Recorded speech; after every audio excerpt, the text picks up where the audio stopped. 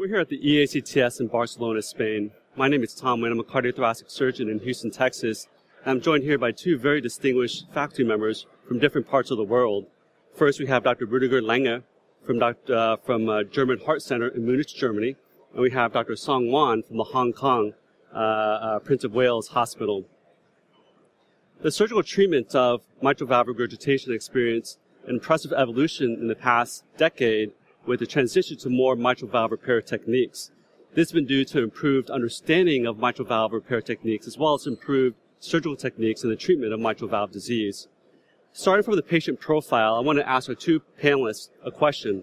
What kind of patients are you currently treating at your institution with mitral valve repair, and how did their profile change in the last 15 years? Dr. Lange. Um, we we treat all patients who uh, come with a repairable valve with mitral valve repair, regardless of age. The or in other hands, um, we repair every valve that is not stenotic. Every valve that's not stenotic. So rheumatic valves. What about ischemic mitral valves? Ischemic uh, functional mitral regurgitation. Um, we also have been repairing a lot now recently after the recent publications uh, that came out. Um, in older patients, we also tend to replace the valve. So that's a perspective from Germany. Let's talk to Dr. Wan from Hong Kong and get his perspective. Yeah, you know, uh, in Asia, historically, uh, we mainly have a rheumatic heart disease. Uh, in the past, it's predominant uh, etiology, but uh, over the last 15 years, uh, degenerative and also the other, Uh, including ischemic mitral, significantly increased the proportion. In our institution now, we, we do much more mitral repair than before. In mainland China, I think still around 50, 60% valve disease are rheumatic. So a patient shows up to your clinic, he's asymptomatic with a preserved ejection fraction, uh, and he's looking to figure out whether he needs mitral valve surgery or not. What, how would you advise the cardiologist that's sending you this patient? Um, Severe mitral regurgitation, asymptomatic, preserved ejection fraction. If uh, if it's a young patient, we would operate in a minimal invasive fashion on this patient today. Um, if you're confident enough to repair the valve and not to have to replace it, I think you should uh, go straight forward and uh, repair it.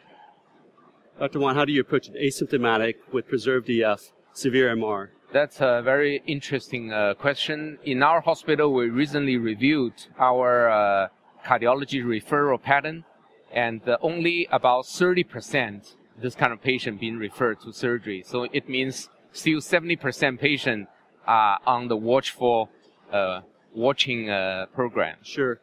Well, the problem that I have is trying to convince the patient and the cardiologist that they actually need surgery because the patient's asymptomatic. So how are you able to convince the patients and the cardiologist that even though they're asymptomatic, they're actually really going to need surgery down the line?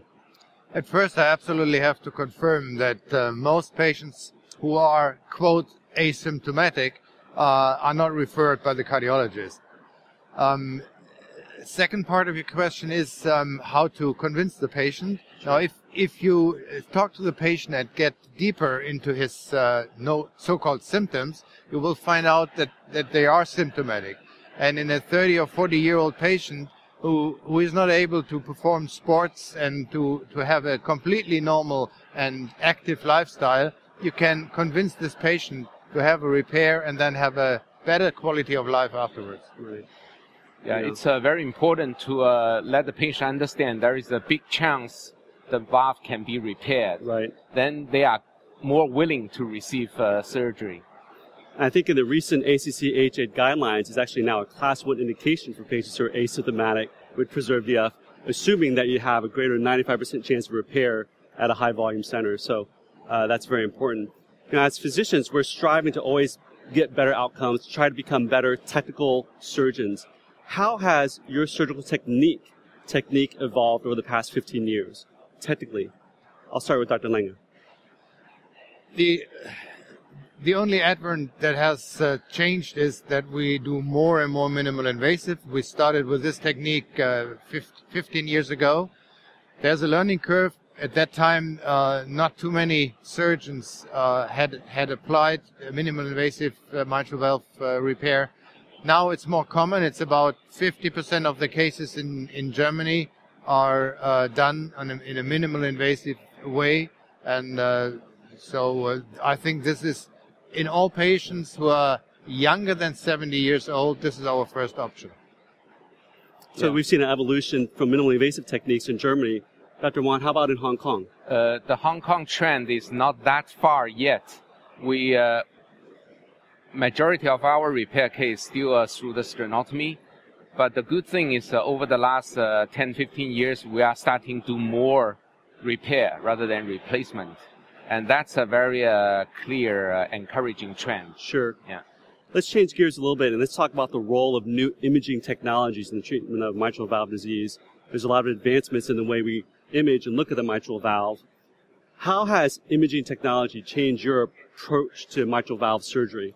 Whether it be 3D echo, whether it be CT scans, whether it be uh, 2D echo. How's uh, how, what's how important is imaging prior to the operation?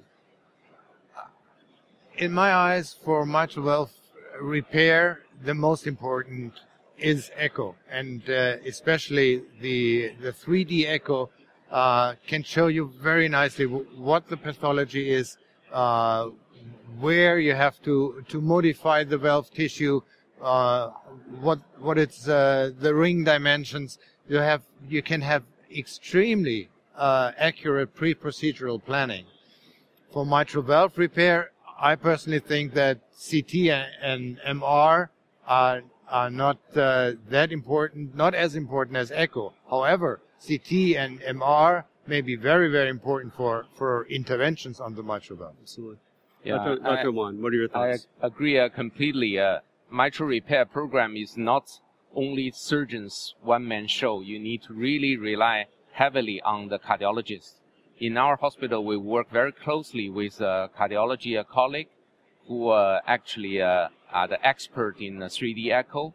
So they help us do all the pre-operative uh, planning, select the patient, whether the patient is suitable for repair, especially the ischemic mitral, and we carefully investigate those uh, patients.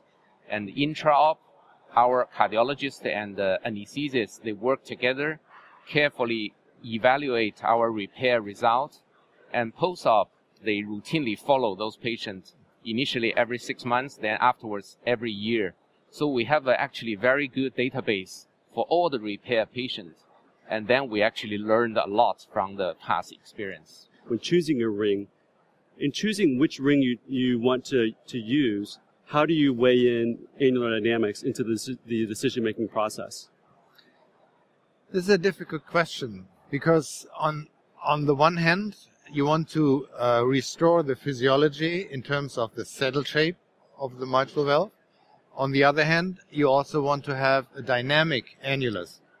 Now, uh, this is kind of difficult to achieve with a with one ring design. Um, for younger patients, um, we you you want to use a dynamic ring who allows opening and diastolic opening and systolic uh, narrowing of the mitral valve ring. So I think uh, the whole ring philosophy should orient itself on the patient demand. So for each patient, uh, you may take a different ring.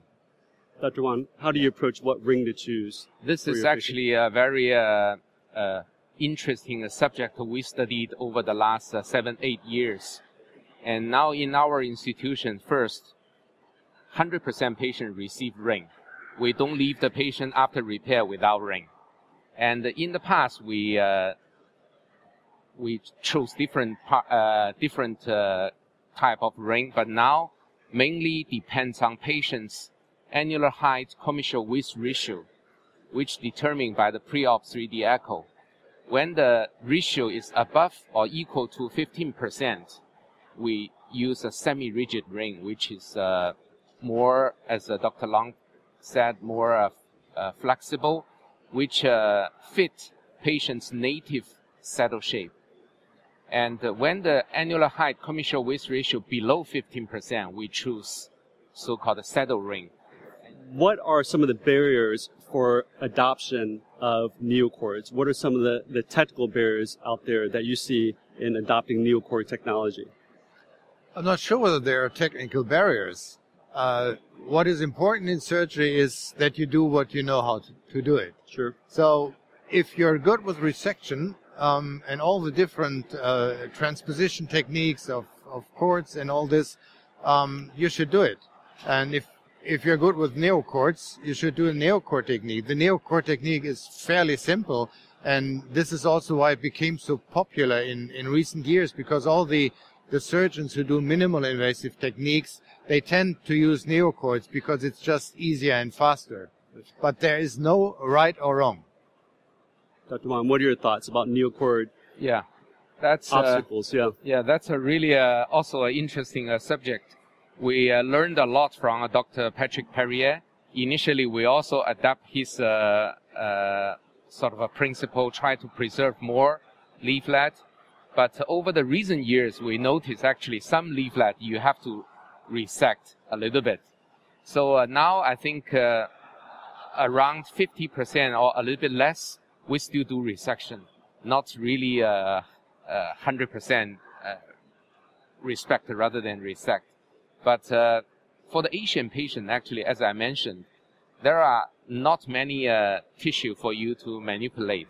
So we tend to preserve more tissue rather than resect we almost uh, never do a quadrangular resection now. We, we do triangular resection and uh, try to preserve more tissues. For posterior leaflet disease, describe to me your ideal patient where you would use neocords and an ideal patient that you would actually resect. I think more than 90% patient we use uh, artificial cording. And it's almost a routine now. Right. Even we resect, we still use a cordy to, uh, to use cords. repair. Yeah. Dr. Lange, what's the ideal patient that you use cords and versus an ideal patient that you would actually resect for the posterior leaflet? For posterior leaflet, we almost exclusively use neocords. Mm-hmm. However, you you can also opt for resection if the height of the segment that is prolapsing, usually the P2 pro, uh, uh, segment, is very long. It's, it's more than two and a half centimeters. You might as well do a resection, and you may be very well off. I want to probe both of you about some of the new technologies out on the horizon right now. How do we get surgeon involvement with MitraClip technology? Right now, cardiologists can do MitraClip really without our involvement. How do we get surgeon involvement with MitraClip as well as well as with some of the transcatheter, transeptal mitral valve replacement technology out there? We'll start with Dr. Lange. There are different ways to do this. We started uh, as a surgical team in 2007 with the uh, transcatheter aortic valve implantations. At that time, there had been just 200 cases done all over the world. So uh, we started to learn wire techniques, we started to learn imaging, and now we have done almost 2,000 cases, and uh, the surgical team is uh, competent to do this. Now, once you are competent to do this, then you can also do MitraClip, but you shouldn't start with a MitraClip probably. You should start with transfemoral transcatheter aortic valves and then develop your program. Another uh, important issue for many surgeons is that they may not have uh, imaging, uh, good imaging in a hybrid room. If you do not have a hybrid room, then uh, you have a really hard time to do transcatheter aortic valve implantations.